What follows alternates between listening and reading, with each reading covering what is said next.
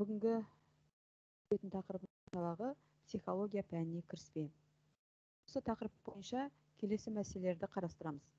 Бірінші психология пәні.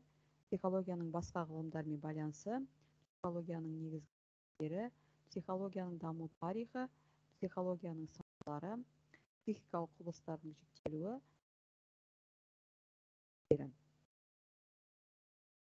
Адам танымының жеке бір саласы ретінде кез келген ғылымның өзінің зерттейтін ерекше пәні болады.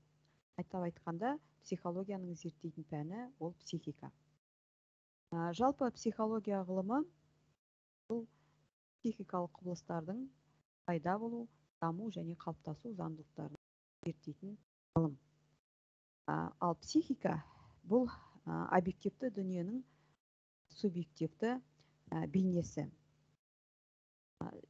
Енді кез келген адам ол айналасында қоршаған ортадағы заттарды құбылыстарды өзінің психикалық ерекшелігіне байланысты әртүрлі бейнелеу процестері өтеді. Енді жалпы психология ғылымы психология термині грек сөзінен аударғанда психе жан логос ілім ғылым деген мағынаны білдіреді. Жалпы психология ғылымы өзінің дамуында басқа ғылымдармен байланысты дамиды. Соның ішінде жалпы психология ғылымы бұл физиологиямен медицина ғылымымен әлеуметтану ғылымдарымен тарих ғылымдарымен қоғамдық ғылымдармен педагогикалық ғылымдармен тікелей байланысты. Адамның физиология психологиялық ерекшеліктерін білу үшін әрине біз адамның физиологиясын оның дамуын анатомиясын жақсы білуіміз керек. Сонымен қатар жалпы оқыту тәрбиелеу процесінде де психологиялық ғылымдардың көрсеткіштері әрине өте қажет. Сондықтан осы ғалымдар ғылымдармен әлеуметтану ғылымдарымен барлық ғылымдармен психология ғылымы тығыз байланыста дамып отыр. Келесі жалпы психологияның негізгі міндеттері бұл психикалық құбылыстардың сапалық тұрғыдан зерттеу болып табылады.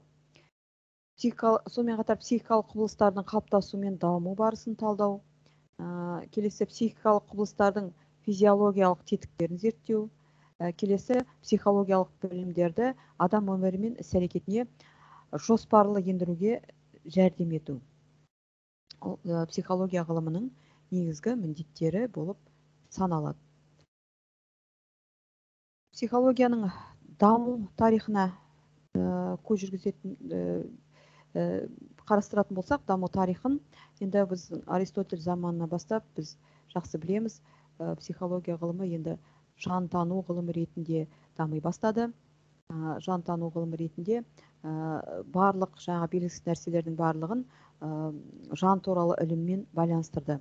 Енді бірінші кезең психология ғылымының дамуы ол ә, психология жан жөніндегі ғылым. Бұл ә, психология мұндай анықтама бұрын бұдан бұрын 2000 жыл бұрын берілген болатын. Ежелгі адамдар жан туралы ұғыммен барлық түсініксіз барша өмір құбылыстарын ә, дәйектеуге тырысқан. Екінші кезеңде ә, психология сана жөніндегі ғылым. Ол 17 ғасырдың Э, ғасырда жаратылыстану ғылымдарының э, өркендеуімен э, пайда болды. Үшінші кезең психология іс әрекет әрекет қылық жөніндегі ғылым. Бұл жиырмасыншы ғасырда пайда болды.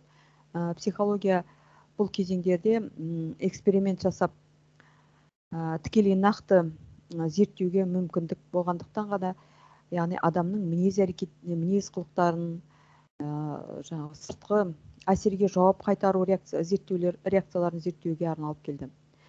Ә, сонымен қатар енді төртінші кезең бұл психология шынайы заңдылықтар мен ә, психика көріністері мен тетіктерін зерттеуші ғылым ретінде ә, танылды. Ә, қазіргі кезде психология ғылымы өте жақсы дамып келе жатыр. Ә, психология ғылымының көптеген салалары бар қырықтан көп салалары. Соның ішінде енді негізгі негізгі салалары атап өтетін болсақ бұл енді жалпы психология әлеуметтік психология педагогикалық психология ә, жас ерекшеліктер психологиясы инженерлік психология заң психологиясы спорт психологиясы медициналық психология басқару психологиясы салыстырмалы психология арнайы психология ә, және ә, тағы басқалары. Енді біздер қарастырып отырған жалпы психология ғылымы бұл ә, психиканың ә, жалпы заңдылықтарын психикалық процестердің қалыптасуының жалпы заңдылықтарын зерттейді.